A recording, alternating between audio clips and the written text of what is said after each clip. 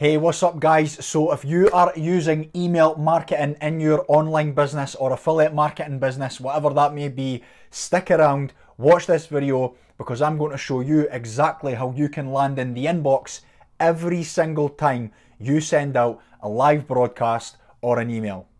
So this is, if this is your first time on the channel, welcome to the channel. Make sure to hit that little subscribe button below and also hit that little bell icon so you get notified each and every time when I post the video. And if you've been on the channel for quite a while, you might notice two little things that are different. First is my snazzy new uh, chair, which uh, is quite comfortable, and also that I might end up having hair like Lloyd off the movie from Dumb and Dumber, or if this lockdown continues, I will end up like Bob Marley. Who knows? Let's hope this lockdown finishes soon. Anyway, if you are new to the channel, make sure to subscribe and hit that little bell icon so you get notified each and every time I post a video.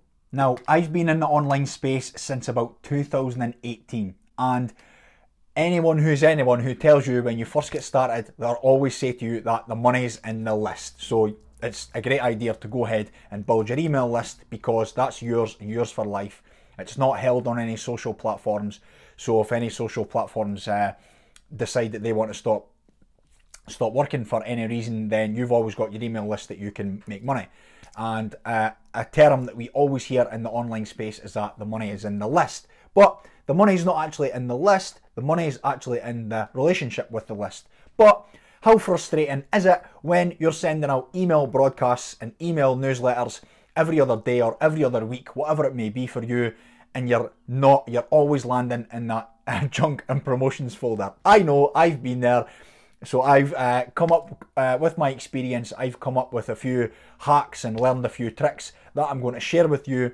And if you stick around to the end of the video, I've got an even extra little hack that's going to help you stay out of that promotions folder so you can get into the inbox each and every time.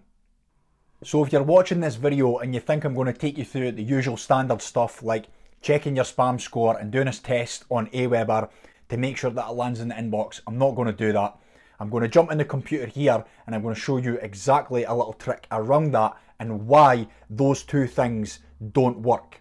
So stick around because I'm just about to show you right now. So let's dive straight in.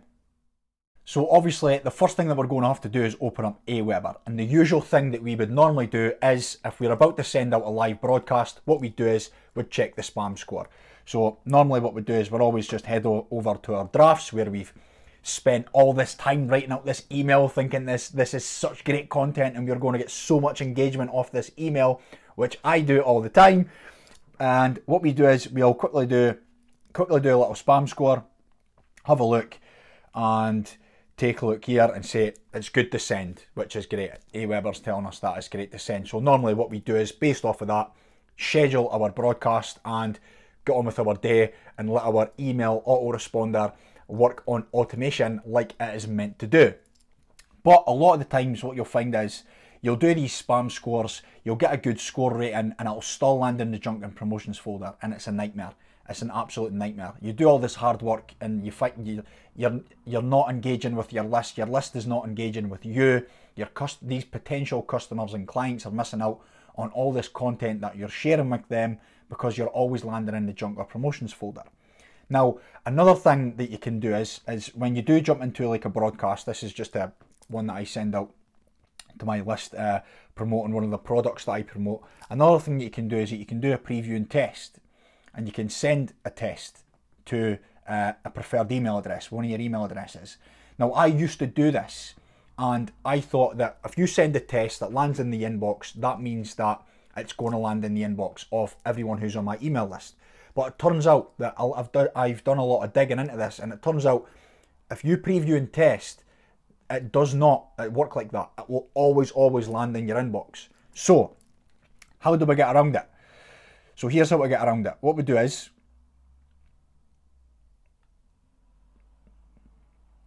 so here's how here's how we get around it. So what you want to do is you want to create email accounts, right? And you want to add yourself into your list. So this is what you do. So you want to test, so I'm going to show you exactly how you do that. So what you do is you just head over to your, your Gmail account and what you do is you would just go over here and you would uh, add another account.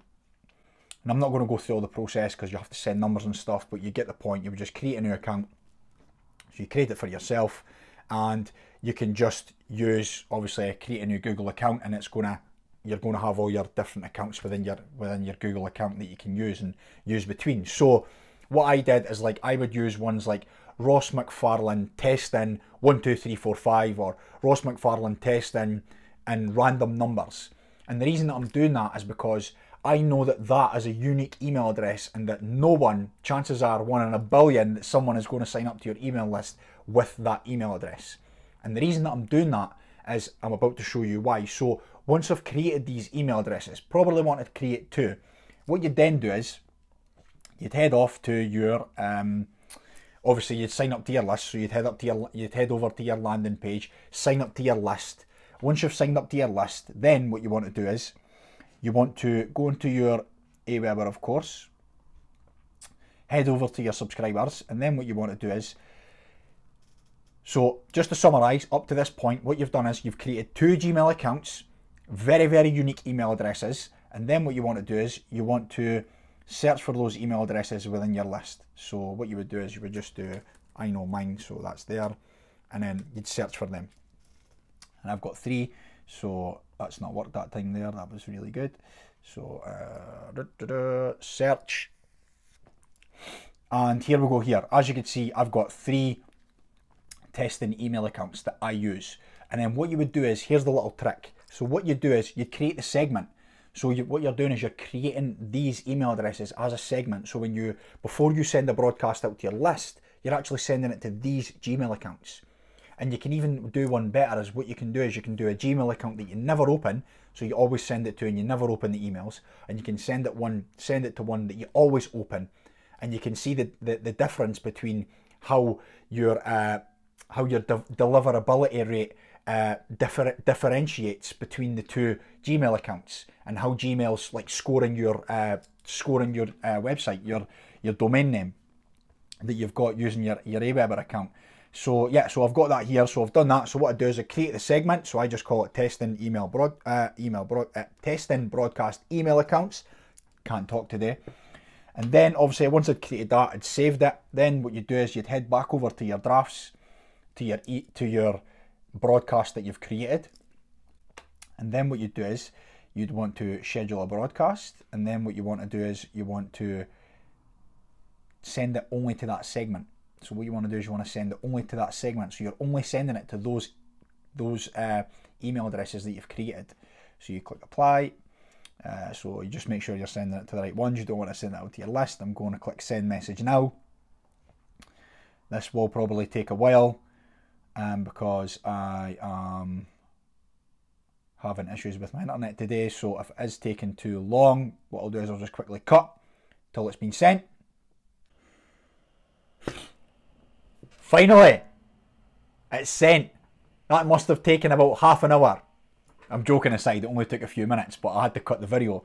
Um, in between screen recording and really bad internet, let's go and see if our broadcast got sent to our testing email broadcast accounts. So let's go and have a quick look. So here we go here, landed in the inbox. So great, I know that's good to send. Again, landed in the inbox on the other testing account. I know that one's good to send. And again, landed in the inbox. So I know for a fact that that email that I have created there, that broadcast that I have created there, I've tested that and sent that only to my test testing broadcast email accounts that I have created, which then leads me to suggest that it's going to land in the inbox and give me a much higher open rate with my list, which is then going to allow my list to engage with me and I can engage with them a lot more, which is going to create more customers, more clients, and hopefully grow and scale your business. Now I did say at the start of the video, I did have one little extra little hack if you did stick around to the end. So if you did, here it is.